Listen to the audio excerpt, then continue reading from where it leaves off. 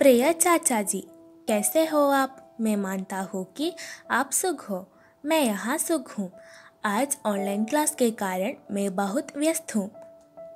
मैं आपके साथ मेरी लॉकडाउन का कुछ अनुभवों चर्चा करने को चाहता हूँ।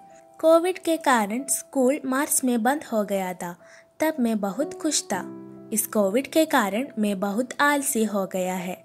स्कूल होते हैं तो मैं सुबह पाँच बजे को उठता था, पर इस लॉकडाउन में मैं उठने को लिए छः बजे होता है। सब काम करने के लिए मैं आलसी था, पर जून होने से अचानक से वो आलसी गायब हो गया है। दूसरा प्रश्न यह था कि मुझे बहुत छुट समय मिलता था।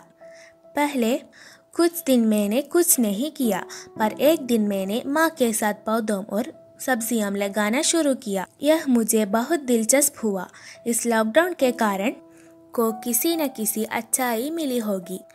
हम सब बच्चों, सभी दिन खेलता था ये हम, पर कोविड से हुआ रुक गया। सभी लोग अपने घर में रहा। अभी भी किसी के साथ हम नहीं खेलता है। यह था मेरी छोटी छोटी प्रश्न। पिछले बार बेजागत को अपने जवाब दिया। इसके लिए शुक्रिया। इस बार भी आप इसकी जवाब ज़रूर भेज देना। बहुत बहुत प्यार से रिसला।